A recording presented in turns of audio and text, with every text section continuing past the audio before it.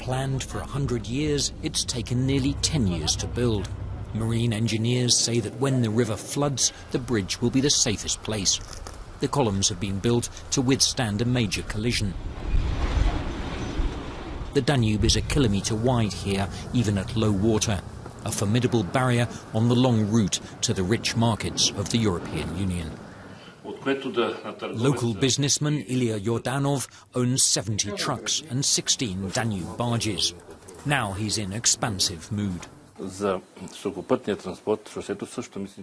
Until now, there were two road routes between southeastern and western Europe, over the old bridge 300 kilometres downstream, or up through Serbia and Macedonia. This bridge creates a third route, shorter and cheaper. Time stopped in the city of Vidin when communist-era industry collapsed.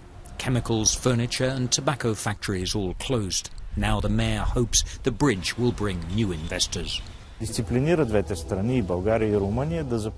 What we need now on both the Romanian and Bulgarian side is discipline.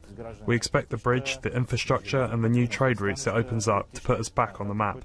Now we need to make the most of it. There hasn't been a proper bridge across this section of the Danube since the Romans destroyed theirs in the 4th century as their empire fell apart.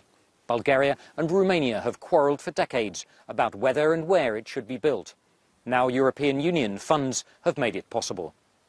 The bridge is not the only missing link on the long road from Athens or Istanbul to Hamburg. There are still long sections of road and rail to be completed. But it is a huge incentive to finish the route. Nick Thorpe, BBC News, Vidin.